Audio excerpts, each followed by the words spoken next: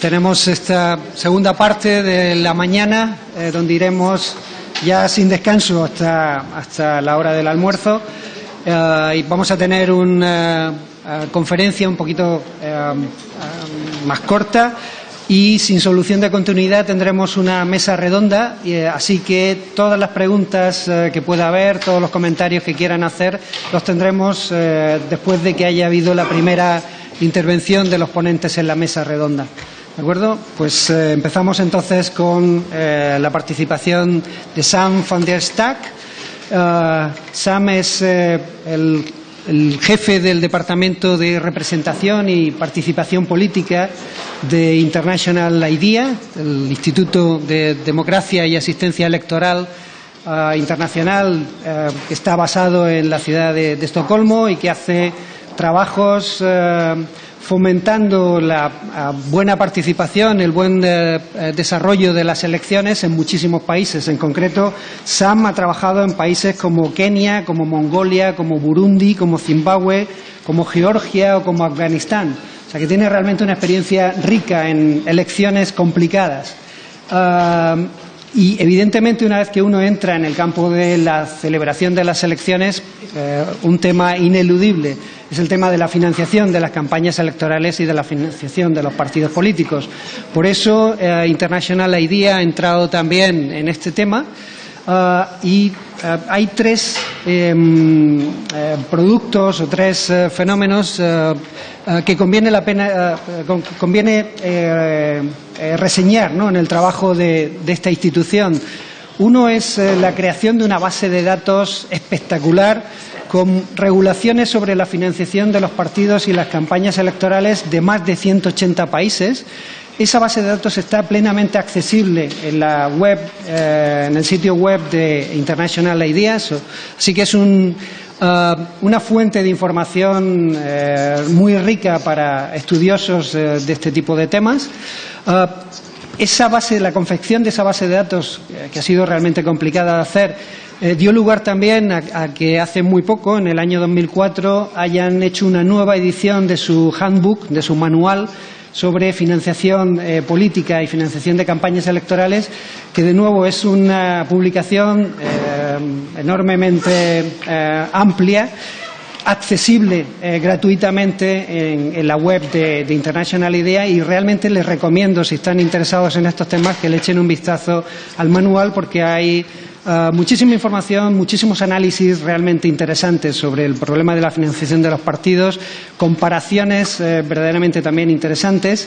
Uh, así que es uno de los pr productos hoy día que permite hacer estudios comparativos de una manera más, más, interesante. Y el tercer producto reciente, todavía no nacido, de International IDEA es eh, la celebración de una conferencia eh, global, internacional, en la Ciudad de México, en los primeros días de septiembre, del 3 al 5 de septiembre, donde va a haber un conjunto de ponentes eh, que vienen del mundo entero y que vienen de los sectores más dispares, no solo de los gobiernos, no solo de partidos políticos, sino también de medios de comunicación, ONGs, etcétera. Es decir, va a ser una conferencia eh, que seguramente marcará un antes y un después en la manera en la que nos acercamos al, al problema. O sea que muchísimas gracias, Sam, por aceptar la invitación para estar aquí. Estamos encantados de oírte.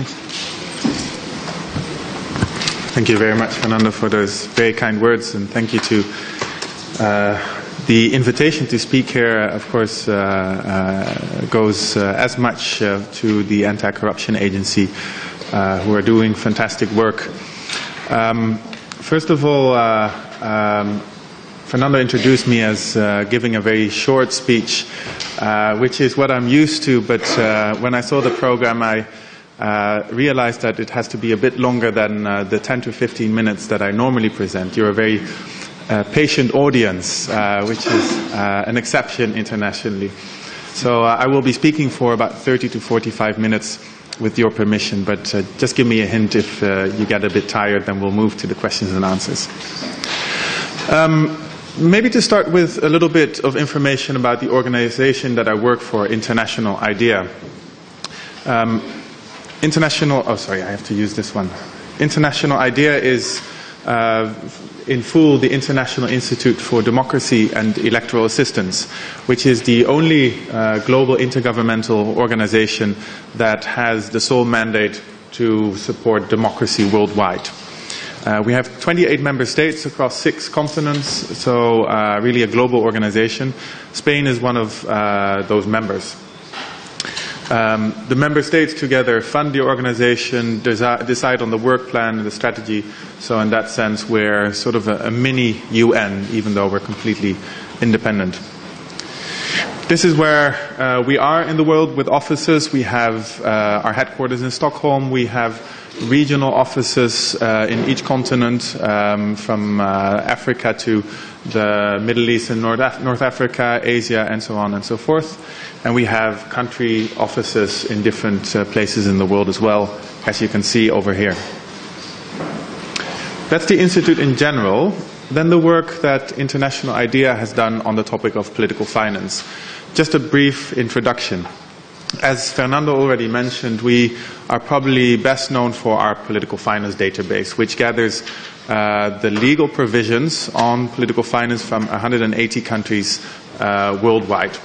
We did an update two years ago. We continue to update it even on an ongoing basis. I don't think that Spain, as was referred to this morning, uh, which has introduced new regulation very recently, is in there yet. So if you do go to the website, maybe Spain will be uh, a little bit outdated. Uh, and this is the type of image that you see when you go to the to the page. You can ask questions like, "Is there a ban on anonymous donations?" And then you can see per country, is it yes or is it no? You can also get nice global maps that show very easily how the world is divided into certain regulations. For instance, are foreign donations allowed? You can very easily see that. And I'll be using a lot of those maps throughout my, my presentation. And these are the maps that I was referring to. We've also captured the main findings of uh, this database in a small publication that I brought. Uh, not too many copies, unfortunately, but this is what it looks like. Everything can be ordered uh, for free from our website, so feel free to either download it or order a print copy. Then we've been doing a lot of regional and global overviews. So where the database is really sort of looking at the formal side of things, we are also looking at what practice looks like, because that is what we often find with political finance. The, the, the theory and the practice are uh, often very far apart. And in these types of publications, we compare the two. As Fernando already mentioned, the most recent publication is our handbook, which is our flagship product in this area looking at each continent and seeing what are the major trends when it comes to political finance gives a very good global overview of where this topic is going. And lastly, also Fernando mentioned that we do the very practical stuff, which is going to countries and advising those that want to introduce law reforms, be it political parties themselves, governments, electoral management bodies. We give them advice what has worked in some countries and what can work in theirs as well. So we've done that in places like Kenya or Mongolia, very recently Sweden, uh, Myanmar, so very established old democracies but also very new democracies. Now, and then this is International IDEA's 2014 handbook that I mentioned, and I will be presenting today a number of the key findings from this handbook just to give you an overview of where the global trends are going and what the, the main problems are that we are observing around the world today, just to set the scene for what this topic is globally moving towards. Um, on the right hand side, you see a, a policy brief that has been distributed, uh, I understand for those that don't want to read a 300 page book, uh, many of us uh, are like that, uh, uh including myself. I find it very difficult. We have uh, summarized uh, the main, main findings into a two page policy brief, and those recommendations are also the core of this presentation. Now, why did we do this handbook? Basically, because these are the things you see in the news today. not a day goes by without these types of images the sort of legal problems, the, the problems that doesn't necessarily involve uh, crime or illegal behavior, like the super PACs in uh, the US. And with the elections, presidential elections upcoming, this is in the news again. but also the illegal, of course, the uh, narcotics trade and how that infuses politics, especially in Latin America, but increasingly so also in West Africa or, or uh, Central Asia. We see a lot of corruption scandals involving politicians. This is India on the bottom left side. Enormous amounts that go around. Uh, and we also see it in the streets almost uh, on a monthly or even weekly basis. This photo is from a month ago in Honduras where uh, voters are taking to the streets in massive numbers because of a corruption scandal involving political parties. So we see that there's a lot of problems, but what I like to do normally when I present this topic is to focus on both the positive and the negative. And it's been mentioned this morning uh, by the minister, political parties cannot live or function without the positive side of funding as well. I've uh, summarized them here. Money is an essential part of elections. Without money, elections can't take place. It helps candidates get their message out, to go to the streets and campaign, facilitates dialogue with voters, and assists voters to make informed choices by politicians that explain what they stand for. So that's the positive side. The negative side we are also all familiar with. Money can undermine free and fair elections. They can give undue uh, advantages to some if some get more money than others. Politicians may become co-opted to a cause, which is the case, for instance, when businesses uh, or very rich individuals fund certain politicians. And political parties can be perceived to be corrupt, and that undermines the whole uh, foundation of democracy. And I think all these things we intuitively feel uh, whenever we read the newspapers or look at politics. Um,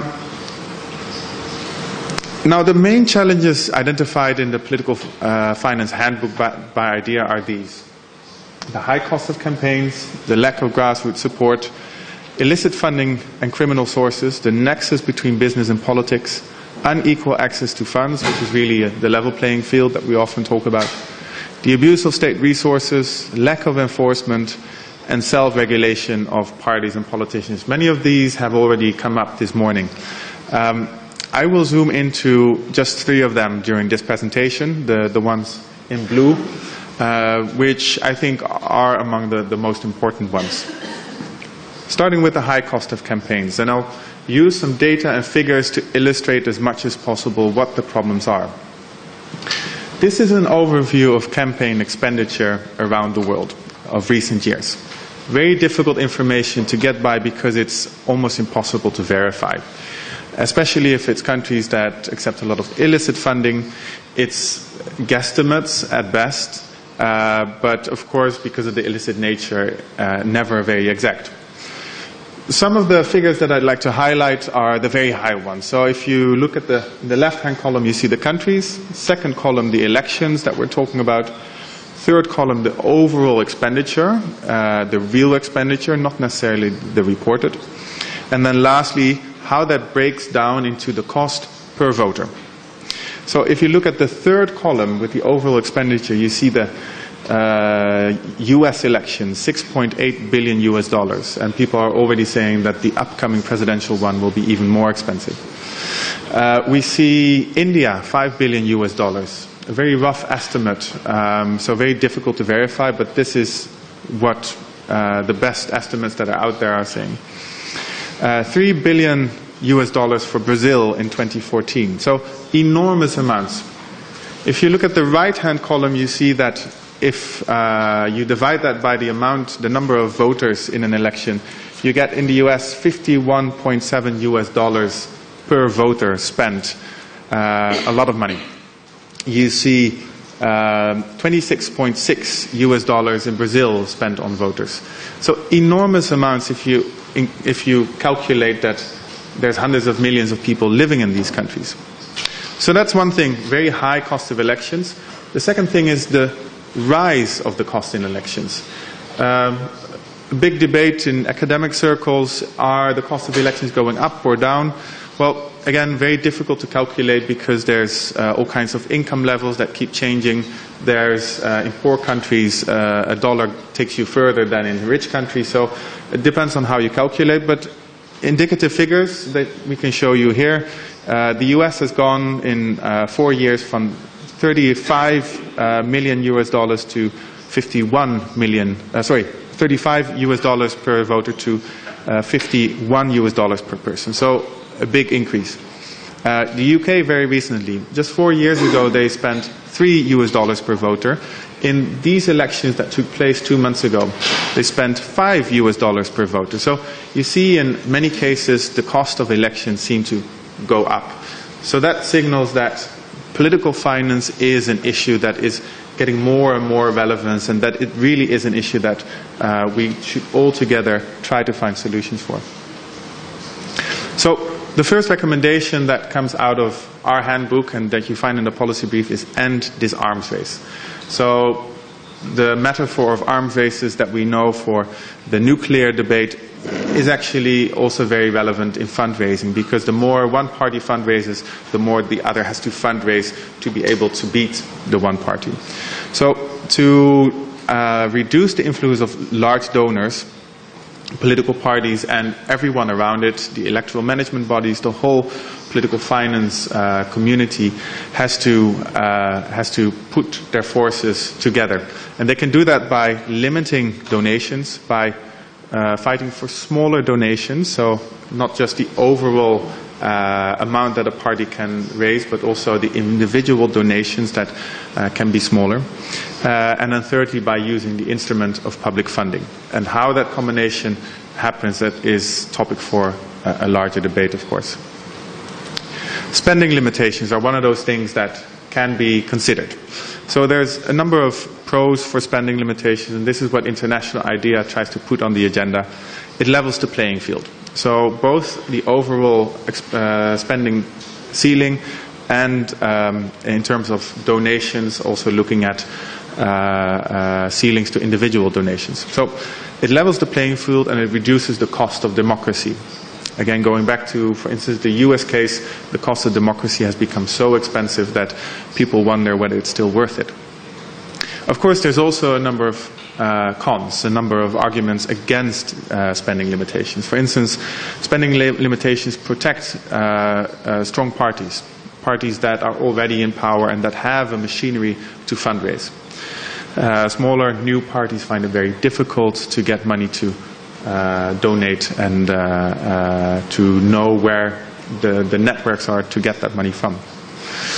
Um, it also forces more spending to go illegal because as soon as you can't accept funding through uh, legal means anymore, you see that in a lot of countries, uh, parties find illegal ways to still accept that money or find loopholes, as we heard this morning from, uh, from Greco, that are somewhere in a gray zone.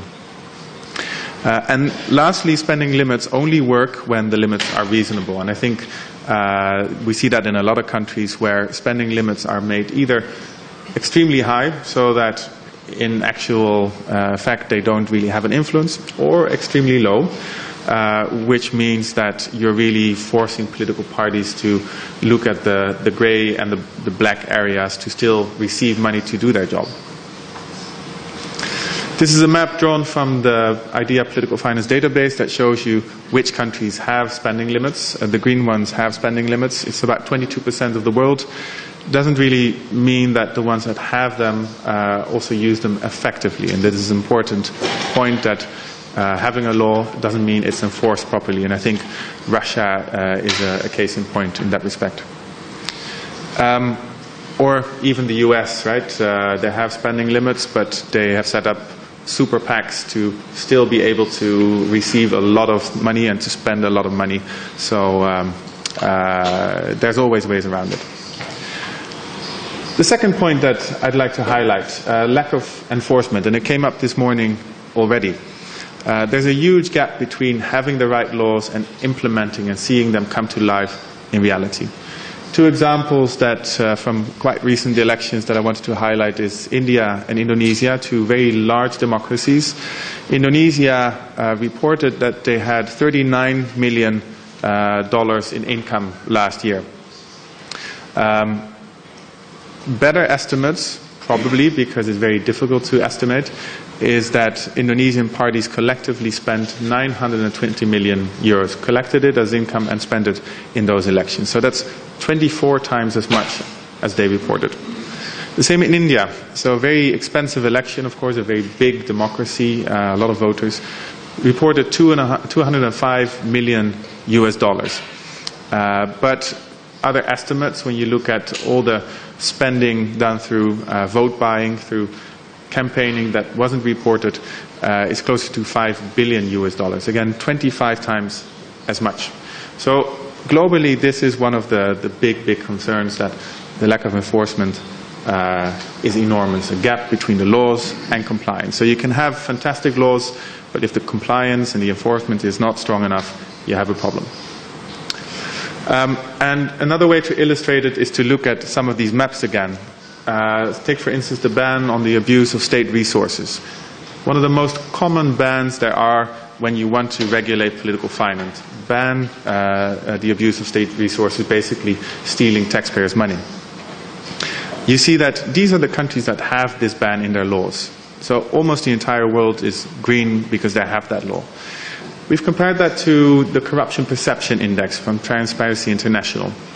It's just to give you an image because this is a comparison that academically probably doesn't, uh, won't stand, but to give you an image of the, the, the difference. You see that a lot of green countries that have a ban on the abuse of state resources rank extremely high in corruption perception. So the world basically, for a large part, goes from red, from green to red if you look at the laws versus reality.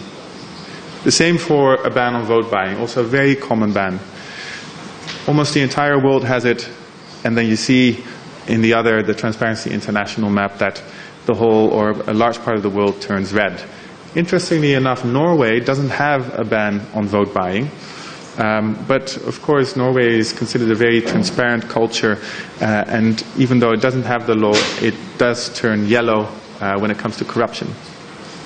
Another example, ban on donations from corporations with government contracts. Also a very common ban to make sure that political finance isn't abused.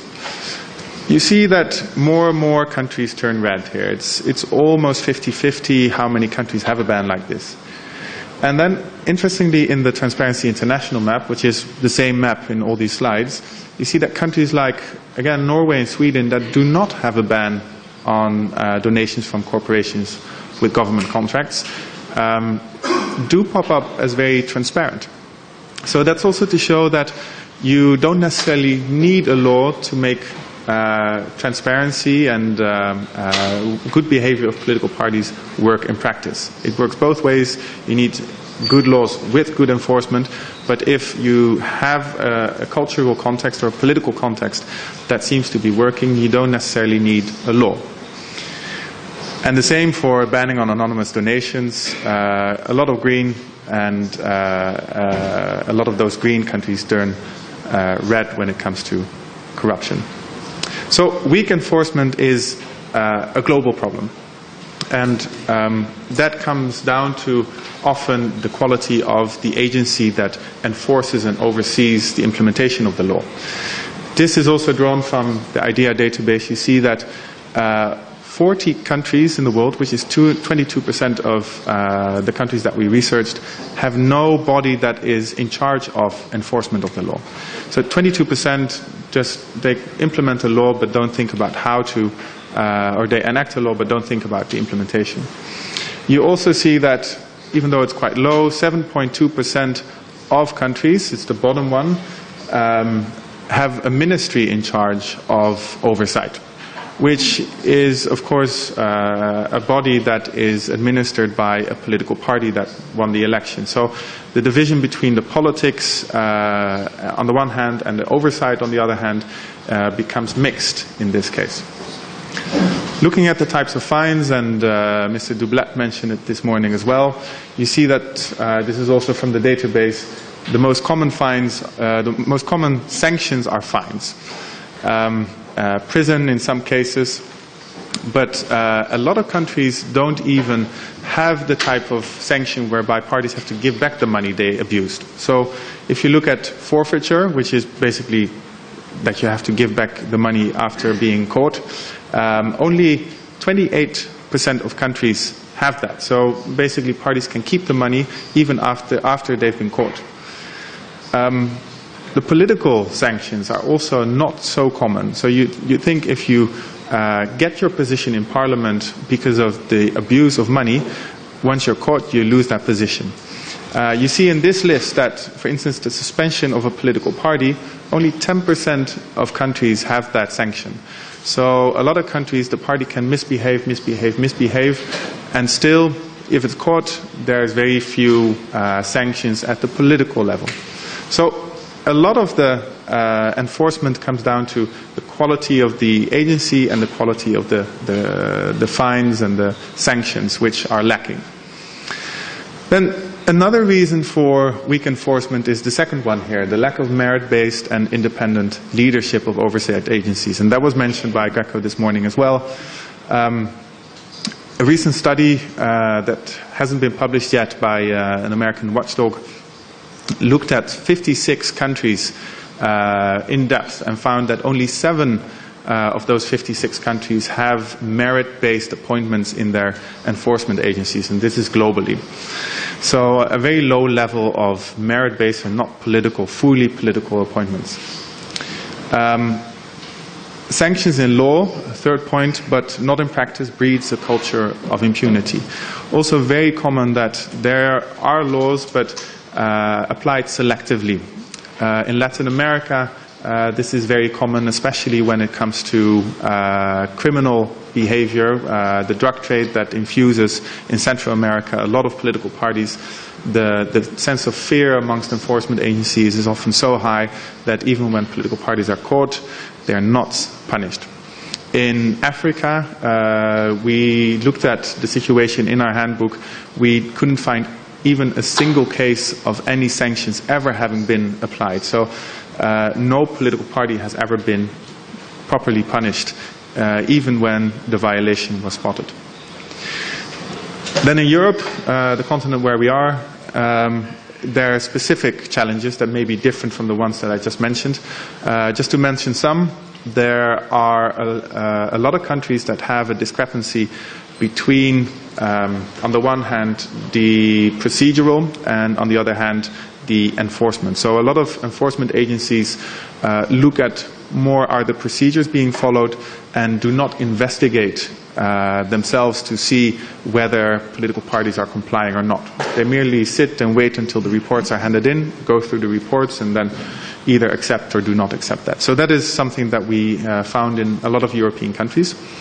There's not a lot of collaboration between the oversight agency and the auditing agency. This is something that can be strengthened. So these are very European related challenges and uh, these may come up later on as well.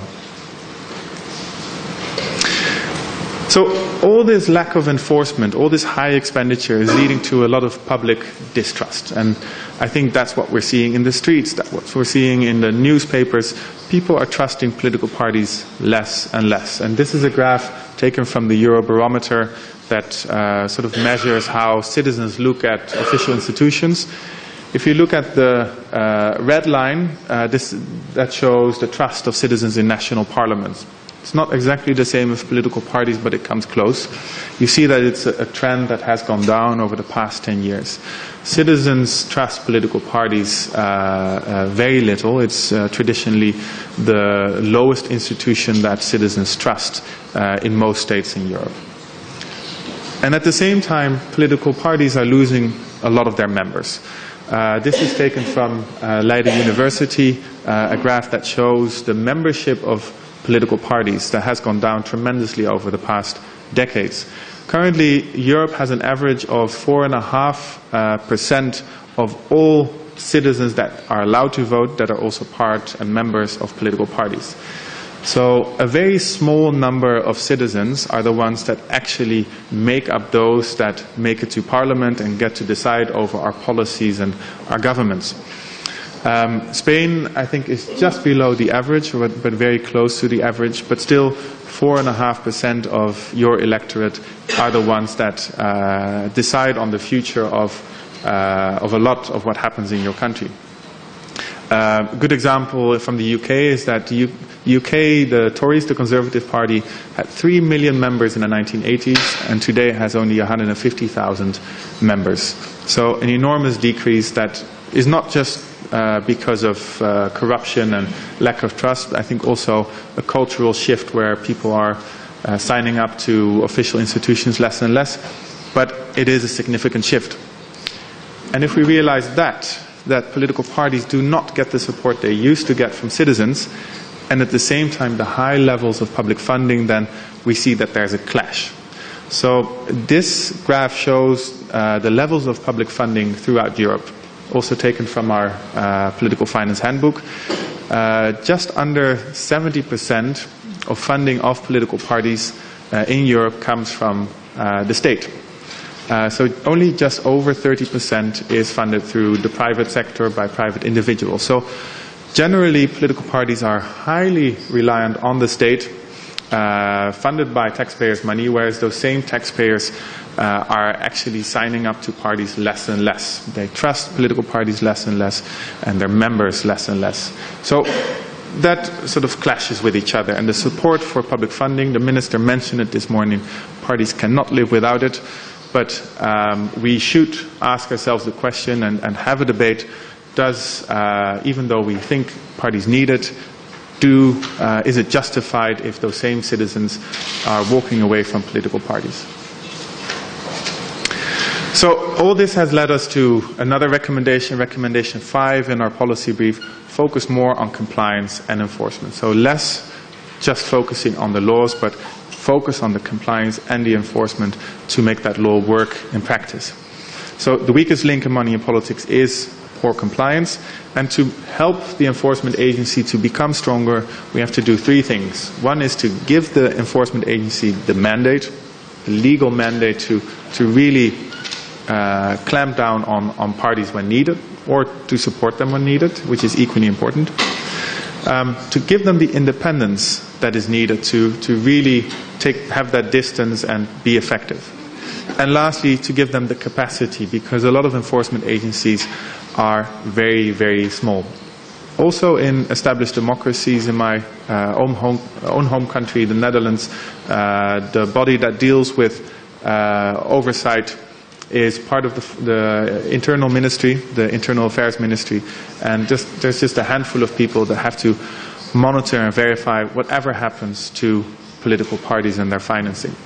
Uh, so this is a problem across the world, especially when it comes to illicit funding, criminal capture of political parties, which, as I mentioned, we see in Latin America, West Africa, Central Asia. Uh, oversight agencies are crucial and need these three elements. Moving to the third topic, the third uh, highlight of the handbook, the nexus between business and politics. And again, some images that we see in the media very regularly. Uh, just a couple months ago in Brazil, with uh, the, the, link between Petrobras, which is a, a state uh, company, state-owned company, uh, and politics. Uh, a lot of politicians, I think it was somewhere in the uh, 40s, but I may be wrong, uh, that were uh, implied in uh, playing a role in a political corruption scandal. Uh, we see in France the uh, scandal that has been going on for years between Mr. Sarkozy's party and the heiress to the L'Oreal company.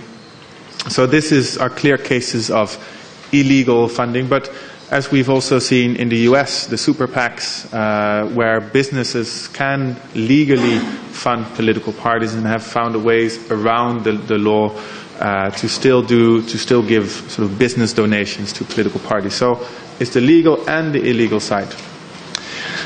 I'm not going to give any clear recommendations on this topic. It, I think it's much too complicated, but just some um, uh, analysis of what it is we talk about when we uh, talk about the nexus between business and politics. Um, a lot of it uh, comes down to the relation between uh, donation limits and the role of business in politics.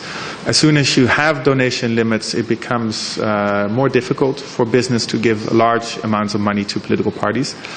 Um, but these limits often do not exist. In some countries they work, in some countries they don't. So, uh, IDEA doesn't take a position on whether they're needed or not, but a debate on the topic is necessary in many countries. In two thirds of Asian countries, for instance, there's no limits uh, uh, to donations to political parties. Um, so That's the category of non-existent limits. Then there's uh, countries where limits are very high, and I think, uh, correct me if I'm wrong, again, maybe the uh, law has changed very recently, but um, the donation limit until recently at least was 100,000 euros in Spain.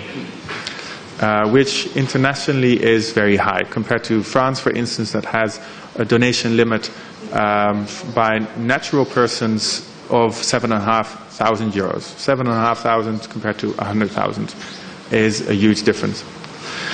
Um, then there's countries that have too low donation limits, and this is a phenomenon that we see a lot in Central Asia, the post-Soviet republic, where the laws are set so strict that the ruling party can sort of slam down, clap down on the, the, opposition party that it dislikes using selective laws. So if you make the law very strict, it also becomes an instrument uh, for ruling parties, for governments, uh, to hurt the parties they dislike where it, where it hurts the most.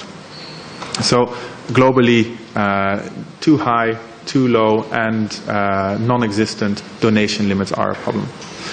Of course, any discussion on donation limits has to happen hand in hand with a discussion about alternative sources of funding, uh, which can be private uh, sources of funding, so uh, from individuals, not necessarily companies, but uh, members or just individuals in the streets through door-to-door uh, fundraising uh, campaigns, but of course also public funding. Um, these are things that sort of communicate to each other.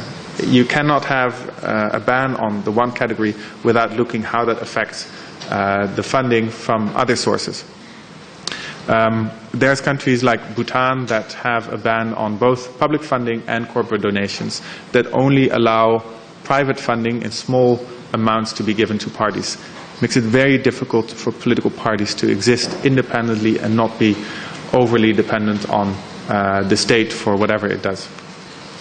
And then there's countries with a complete ban on uh, donations. And these are the countries uh, that have it. Again, uh, it's about 22% of countries in the world that have a complete ban, although I understand from this morning's discussion that Spain has introduced this ban, so it should go from red to green here. These are the three issues I wanted to highlight in sort of what the problems are uh, when it comes to political finance that come out of our uh, global handbook. There's a number of other issues that we may want to discuss throughout the day or tomorrow even. First, in Spain, one observation is that candidates seem to be completely unregulated. Again, uh, I learned this morning that there's been a lot of changes, so this may not reflect the current stage anymore, but uh, it's a situation that across the globe happens a lot. Political parties are regulated, candidates are not, so that creates loopholes for parties that can accept money, accept donations through their candidates. Uh, it's the creative way that political parties often find to circumvent the rules.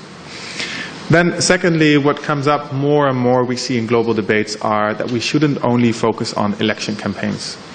A lot of the money is spent early on when no one is looking, for instance, during primaries. And it was mentioned this morning uh, when talking about how to make sure that members can become uh, selected and nominated for elections. Those are procedures and processes where the real choices are often made and where a lot of money changes hand. We observe a lot of countries where um, no one is looking, there's no role for the oversight agencies, there's no laws dealing with the primaries, and still that's where the real money changes hand. And the last issue that we observe more and more around the world is that women's access to political funding is one of the key reasons why women are underrepresented in parliaments. So we can work with quotas for women in parliament, we can promote them through trainings, but if we don't also tackle the access of women candidates to funding and fundraising, then a lot of the times they simply just don't make it to parliaments. So, a lot of problems, and what happens then? Uh, especially those working in enforcement agencies, they've heard all the problems so many times, they see them in their own daily reality, uh, they are looking for solutions, and there are no easy solutions. Some of the implications from our research that uh, we feel at least has, have to be discussed uh, very urgently at a global level. For instance, political finance is deeply political. Too long we have considered it as a technical issue where if we just fix the law and give more money to the oversight agency, the problem goes away. In actual fact, it's the politicians who are themselves responsible for uh, voting on those laws, uh, are themselves responsible for implementing and abiding by the law. So if we don't see this as a political problem and only as a technical problem, we will never solve it. Enforcement is the weakest link. I mentioned it before. Uh, I don't have to go into that uh, anymore. The gender funding gap, um, enormously important for leveling the playing field between men and women. Broader involvement in development of regulations is needed, especially if we don't want to leave it to politicians to fix their own problems. We have to include civil society, we have to include the oversight agency and all the relevant institutions at the moment when regulations are redrafted. So see it as a more holistic uh, body of people that should be involved in the debate. And that's, I think, what we're doing here today. So this is a very good start. Need for greater disclosure. I think it was mentioned uh, before, but having reports not only sent to the oversight agency, but making them available on websites so that the media can see them in an accessible way, not just through PDFs on a website, but in a way that they can be compared, and Greco mentioned it this morning as well. That is the only way that media, who are always in a hurry, don't have the time to investigate, can really pick up on these issues. And then lastly, need for greater geographical and thematic coordination to tackle illicit finance. This is basically the Greco model that has worked so well in Europe and that more uh, regions in the world can copy. And this is something that we will be discussing in Mexico, where Fernando just referred to. Recommendation 8 in the policy brief, base regulations on the desired role of parties in society. Again, parties do not operate in a vacuum. Parties in Spain are considered in a different way than parties in France. They have a different history, play a different role, different way in which citizens participate in politics. So the whole society should be not just involved but also considered when looking at how the new political finance law should take shape. And a broad discussion should therefore take place. This is an example of, I hope I can, we, we can all read it, otherwise I will, I will read it out. Um, of how we try to advise political parties or the discussion about what role political parties should play in a society uh, whenever we talk to parties in the field. Political parties in some countries are considered private entities, completely separate from the state, grassroots movements that are almost civil society movements. And in other countries, they're considered closer to being a public entity that are funded by the state, that have certain roles to implement democracy and dependent on where you stand on that sort of equilibrium, you will have a different discussion and a different outcome on, for instance, how to fund political parties or how closely you're allowed to step into that party to regulate it and to ask for reporting. The same with uh, do we see political parties as mainly campaign organizers, campaign machineries, like we see in the US, or do we see them as uh, uh, an integral part of our democracy throughout the electoral cycle, which is closer to the European model, where parties also uh, exist and are alive in between elections and mobilize people for all kinds of reasons. Um, state involvement in some countries, again the US for instance, is considered extremely damaging. So no involvement of the state in parties whatsoever. Whereas in other countries it's much more accepted that the, that the state uh, monitors is part of what happens within a party. And this is a cultural and historic uh, uh, situation that, that also influences what role the enforcement agency can play. And then lastly, um, in some countries, it's candidates who basically run elections. The role of the political party itself is very small. Uh, the UK, the US, I think the whole Anglo-Saxon system, the uh, first past the post uh, type of electoral systems have candidates on a much higher level and the parties are almost invisible. And this also changes whether you regulate the party or you regulate with more emphasis on the candidate. So all this should be taken into account when we review our legislation and there's no blueprints, there's no uh, way of saying let's just introduce uh, the, the, framework from France or Spain or Italy uh, because that works well there. Every context has to be considered differently. So you see here the political goals in combination with the context, Yves-Marie Doublet mentioned it this morning, uh, conflict is often a crisis. Um, if a crisis happened, then all of a sudden, as we saw in Brazil or Chile just two months ago, uh, with a large political corruption scandal, allows for reforms that were until that time hardly thinkable. And that should be combined with the current regulations because no existing legal framework can be overturned 180 degrees overnight. It's always a piecemeal process uh, to allow people to get used and adjusted, especially the political parties that have to abide by the new laws in a step-by-step -step process. So uh, use the current regulation and see to what extent you can adjust them instead of replacing them entirely. And that should ultimately lead to the bigger reforms. Um, just a slide that shows you how uh, different continents invest in regulations uh, just for sort of general purposes. You see that uh, in your left-hand column, uh, we have indicated which countries or regions have a very high level, sorry, a very low level of regulation. So only the very basic levels of regulation, those that have medium and those that have very high levels of regulation.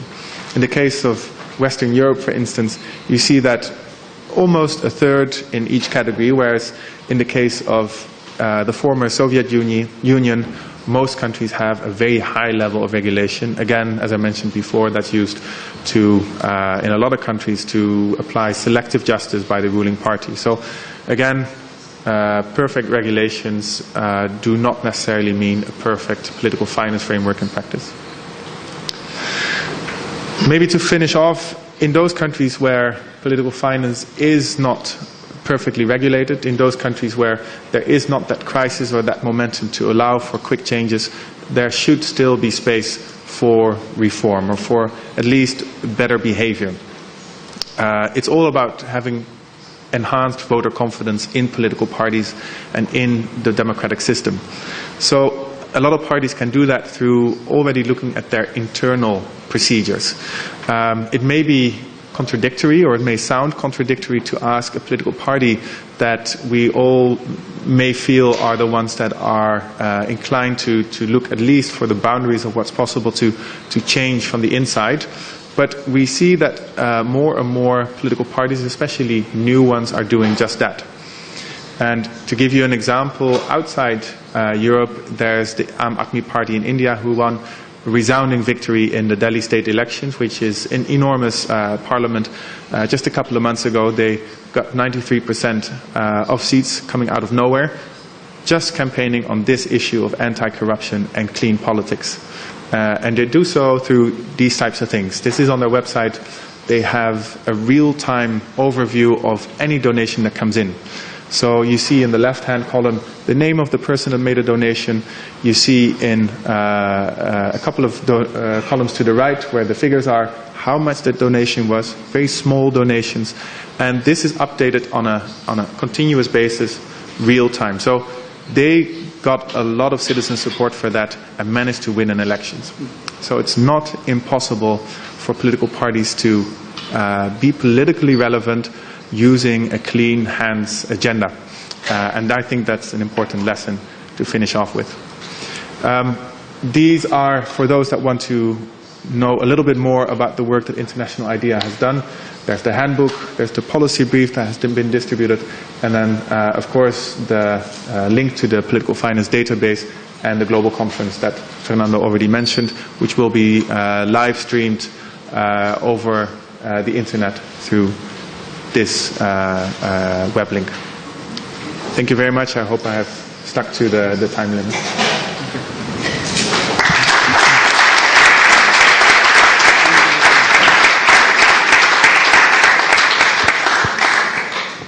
Um, bueno, vamos, eh, yo seguro que, que, la intervención de Sam ha suscitado ¿no? Eh, comentarios y preguntas, eh, pero vamos a, a, incorporar la mesa redonda y eh, tendremos una ronda de, inter de, intervenciones después de la primera intervención de los ponentes en la mesa. ¿De acuerdo? O sea que Astrid, Enrique, uh, Fernando, and Jens Oscar, uh, maybe